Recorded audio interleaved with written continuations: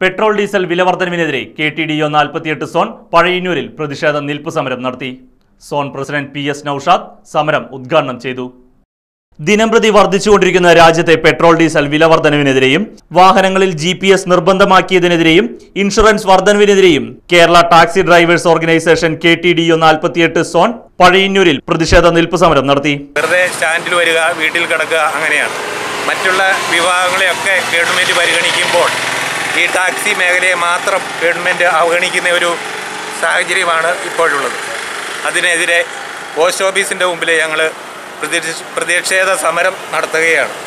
Zonal vice president Sasi കെയുടെ അധ്യക്ഷതയിൽ നടന്ന പരിപാടി കെ ടി ഡി ഒ നാൽപ്പത്തിയെട്ട് zone president P S Naushad ഉദ്ഘാടനം ചെയ്തു. വർദ്ധിച്ചു വരുന്ന ഡീസൽ വില അതുപോലെ പെട്രോൾ വില പിന്നെ ഞങ്ങൾ ടാക്സി വാഹനങ്ങൾ മാത്രമായിട്ട് ജി പി എസ് നിർബന്ധമാക്കുന്നുണ്ട് അതിനെതിരെയും അതുപോലെ തന്നെ ഇൻഷുറൻസ് വില വർധനവ് ഇതിനെല്ലാം ഇടയിൽ ഞങ്ങൾ ചില ഫീൽഡിൽ ഞങ്ങൾക്ക് വളരെ ഞങ്ങൾ പിന്നോക്കം പോയിക്കൊണ്ടിരിക്കുകയാണ്. ഞങ്ങൾക്ക് ഓട്ടങ്ങളില്ലാത്ത ഒരവസ്ഥയിലാണ് കാരണം വർദ്ധിച്ചു വരുന്ന ഈ പ്രൈവറ്റ് കള്ള ടാക്സികൾ അതുപോലെ തന്നെ അനധികൃതമായിട്ടുള്ള റെന്റ് കാറുകൾ ഇതിനൊന്നും എതിരെ നമ്മുടെ ഗവൺമെന്റിന്റെ ഭാഗത്തുനിന്നോ ഒന്നും ഞങ്ങൾക്ക് യാതൊരു അനുകൂല നടപടികളൊന്നും ആയിട്ടില്ല.